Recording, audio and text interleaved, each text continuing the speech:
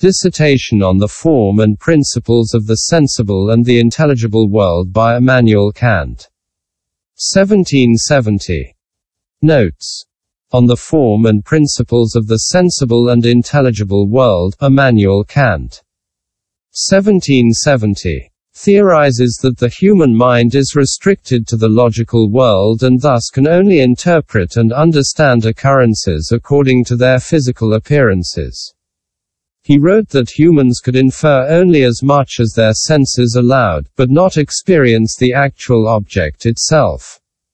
Thus, the term phenomenon refers to any incident deserving of inquiry and investigation, especially events that are particularly unusual or of distinctive importance. Dissertation on the Form and Principles of the Sensible and the Intelligible World. Section 1. On the idea of a world in general.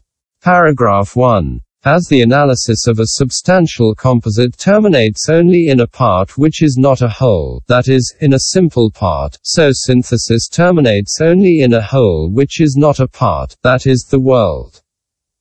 In this exposition of the underlying concept I have had regard not only to the marks pertaining to the distinct cognition of the object, but somewhat also to the two-fold genesis of the concept from the nature of the mind. Which, being serviceable to a method of deeper metaphysical insight, by way of example appears to me not a little commendable. For it is one thing, the parts being given, to conceive the composition of the whole by an abstract notion of the intellect and another thing to follow out this general notion considered as a problem of the reason by the cognitive sensuous faculty. That is, to represent it to one's self in the concrete by a distinct intuition. The former is done through the class concept by composition, as several things are contained either under it or mutually, and hence by intellectual and universal ideas. The latter rests on the conditions of time, Inasmuch as the concept of a composite is possible genetically, that is by synthesis, by the successive union of part to part, and falls under the laws of intuition. Similarly, a substantial composite being given, we easily attain to the idea of the simple parts by the general removal of the intellectual notion of composition. For what remains after the removal of conjunction are the simple parts. But according to the laws of intuitive cognition this is not done, that is, all composition is not removed, except by a regress from the given whole to any possible parts whatsoever. In other words, by an analysis again resting on the condition of time. Opening square bracket. 1. But since in order to a composite a multiplicity, in order to a whole, the allness, of parts is required, neither the analysis nor the synthesis will be complete. Hence neither by the former will the concept of the simple part emerge, nor by the latter the concept of the whole, unless either can be gone through within a time that is finite and assignable. But since in a continuous quantity the regress from the whole to assignable parts, and in an infinite quantity the progress from the parts to the given whole are endless, complete analysis in the one and complete synthesis in the other direction are impossible. Hence neither the whole in the first case as to composition, nor the composite in the latter case as to totality can be thought completely in accordance with the laws of intuition. Unthinkable and impossible being vulgarly deemed to have the same meaning.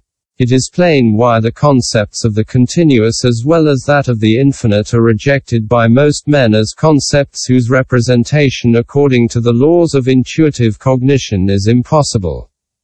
Although I do not here champion these notions, especially not the first, which are considered exploded by many schools, still the following reminder is of the greatest moment.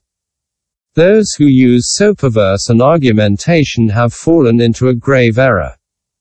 Opening square bracket.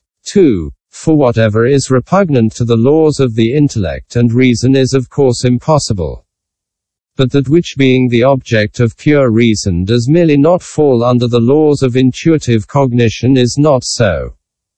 For here the disagreement between the sensuous and the intellectual faculties, whose natures I shall presently explain, indicates nothing except that the abstract ideas which the mind has received from the intellect can often not be followed out in the concrete and converted into intuitions. This subjective difficulty generally feigns some objective repugnance and easily deceives the incautious. The limits by which the human mind is circumscribed being taken for those by which the essence of things themselves is contained. Furthermore, as the argument from intellectual reasonings easily shows that substantial composites being given, whether by the testimony of the senses or otherwise, the simple parts and the world are also given. So does our definition point out causes contained in the nature of the subject why the notion of a world should not seem merely arbitrary and made up. As in mathematics, only for the sake of the deducible consequences. The mind intent upon resolving as well as compounding the concept of a composite demands and presumes boundaries in which it may acquiesce in the former as well as in the latter direction. Paragraph 2. In defining the world the following points require attention.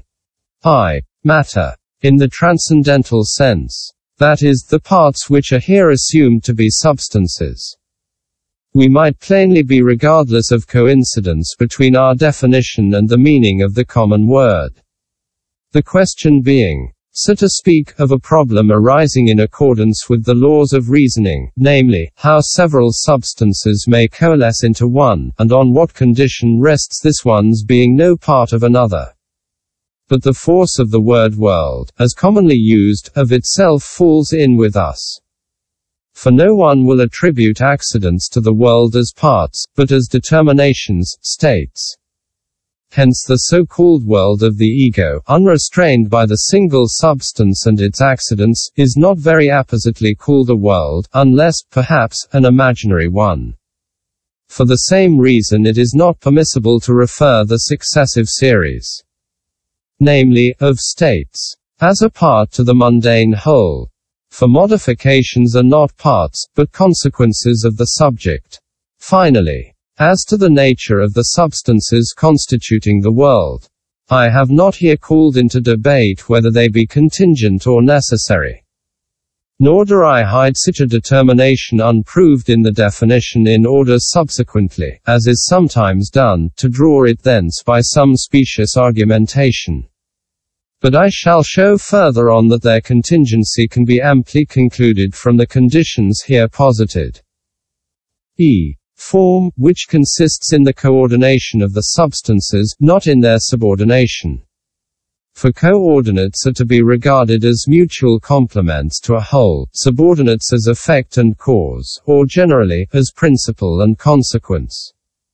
The former relation is reciprocal and homonymous, any correlate in respect to any other being considered as at once determining and determined.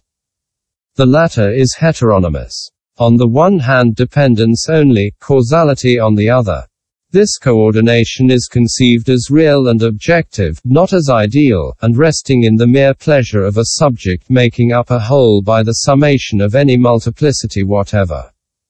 For the grasping of several things can by no contrivance be made a whole of representation, nor, for that reason, a representation of the whole. Therefore, if there be any totals of substances connected by no bond, a grasping of them together, the mind forcing the multiplicity into ideal oneness, will be called nothing more than a plurality of worlds comprehended in a single thought but the connection constituting the essential form of a world is looked upon as the principle of the possible influences of the substances composing that world.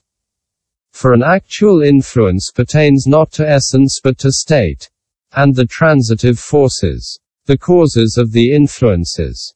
Suppose some principle by which it is possible that the states of several things in other respects existing independently of each other are mutually related as consequences. Which principle being abandoned, the possibility of transitive force in a world is an illicit assumption. And, furthermore, this form essential to the world is on that account immutable, and exposed to no vicissitude whatever. It is so in the first place for a logical reason, since any change supposes the identity of the subject with determinations succeeding one another in turn. Hence the world, remaining the same world through all the states succeeding one another, preserves the same fundamental form.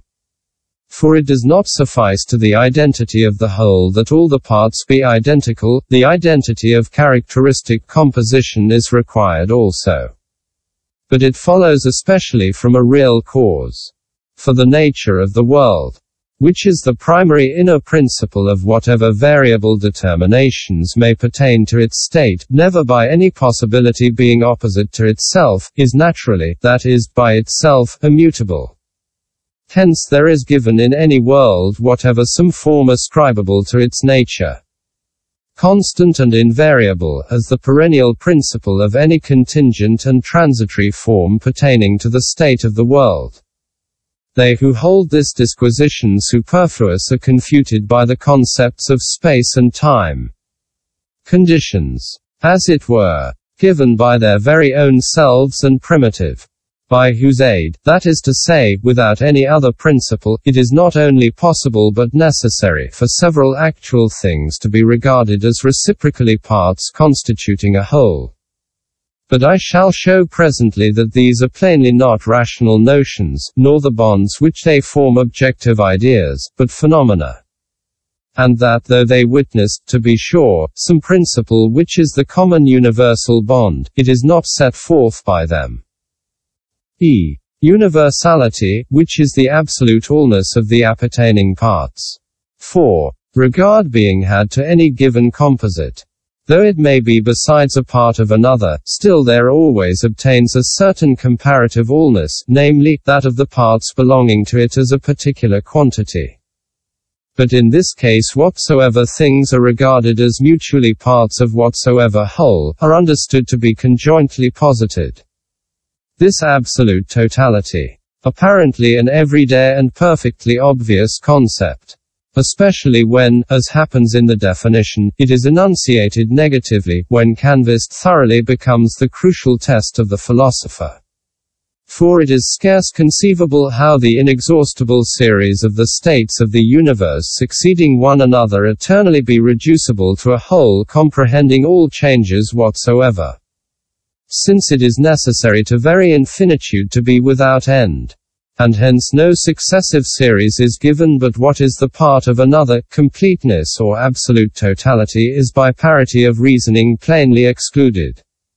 For although the notion of a part can be taken in a universal sense, and although everything contained under this notion, if regarded as posited in the same series, constitutes unity, yet the concept of the whole appears to exact their all being taken simultaneously, which in the case given is impossible.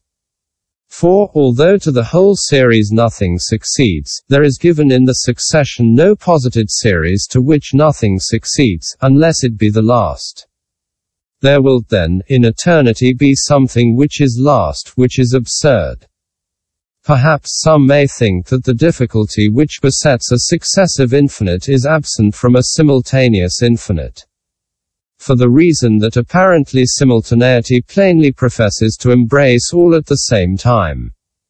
But, if the simultaneous infinite be admitted, the successive infinite also will have to be conceded, and the negation of the latter cancels the former for the simultaneous infinite offers matters everlastingly inexhaustible to a successive progress in infinitum through its innumerable parts.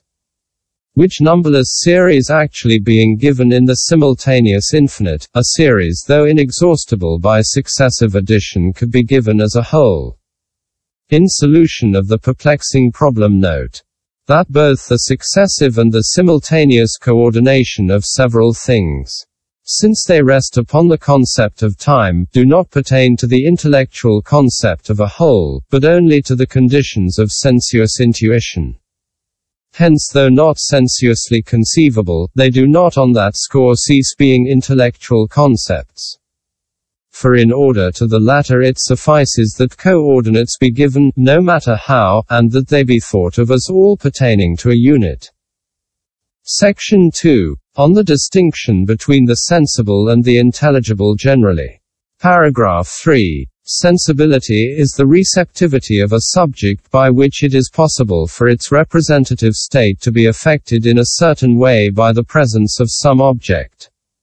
Intelligence, rationality, is the faculty of a subject by which it is able to represent to itself what by its quality cannot enter the senses. The object of sensibility is sensuous. What contains nothing but what is knowable by the intellect is intelligible.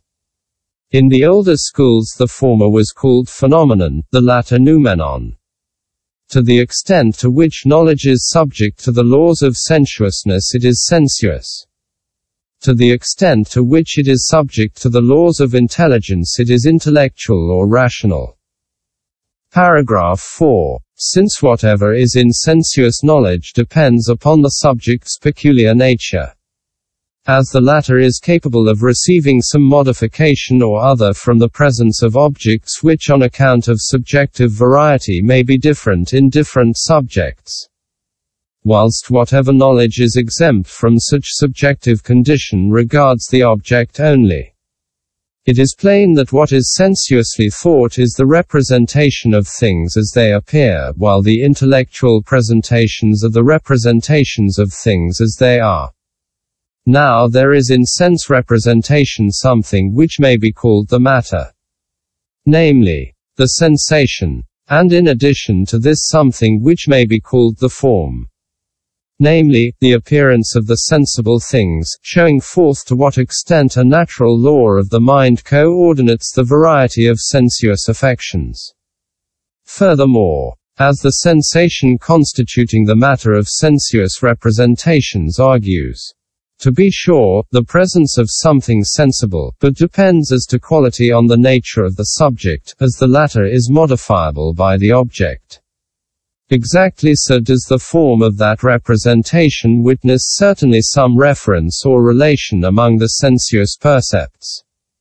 But itself is not, as it were, the shadowing forth or outlining of the object, but only a certain law inherent in the mind for coordinating among themselves sensuous percepts arising from the presence of the object. For by form or appearance the objects do not strike the sense. Hence in order that various sense-affecting objects may coalesce into some whole of representation, there is need of an inner principle of the mind by which, in accordance with stable and innate laws, that variety shall take on some appearance. Paragraph 5. To sensual cognition then pertains both the matter which is sensation and by which the knowledge is said to be sensual, and the form by which, even though we find it without any sensation, the representations are called sensuous. On the other hand, as to intellectual concepts, it is above all to be well noted that the use of the intellect, or of the superior faculty of the soul, is twofold. By the first use are given the very concepts both of things and relations. This is the real use. By the second use they, whensoever given, are merely by common marks subordinated to one another, the lower to the higher, and compared among themselves according to the principle of contradiction. This is called the logical use. The logical use of the intellect is common to all the sciences. The real use is not for a cognition given in any wise is regarded either as contained under or as opposed to a mark common to several cognitions. And this either by immediate apposition, as in judgments in order to distinct cognition, or mediately, as in reasoning, in order to adequate cognition. Thus sensuous knowledge being given, Sensuous percepts are by the logical use of the intellect subordinated to other sensuous percepts, as to common concepts, and phenomena to the more general laws of phenomena. In this connection it is of the greatest moment to note that cognitions must continue to be regarded as sensuous, no matter how great may have been the logical use of the intellect upon them for they are called sensuous on account of their origin, not of their collation by identity and opposition. Hence, empirical laws, though of the greatest generality, are, nevertheless, sensual, and the principles of sensuous form in geometry. The relations in determinate space. However much the intellect arguing according to logical rules from what is sensuously given by pure intuition be employed upon them, do not for that matter pass beyond the class of sense percepts. That in sense percepts and phenomena which precedes the logical use of the intellect is called appearance. While the reflex knowledge originating from several appearances compared by the intellect is called experience. Thus, there is no way from appearance to experience except by reflection according to the logical use of the intellect.